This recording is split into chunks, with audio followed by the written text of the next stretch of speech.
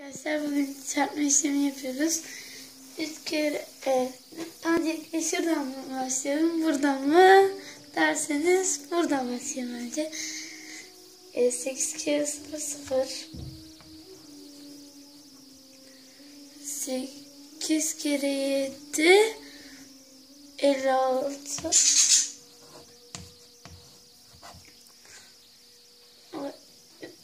3 kere 0 0 3 kere 3 15 9 kere 9 81 50 var 8 9 kere 9 ah, 9 8 daha 17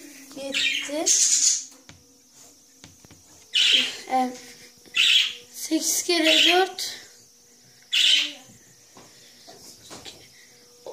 32 50 var 3 35 3 kere 6 18 50 var 1 30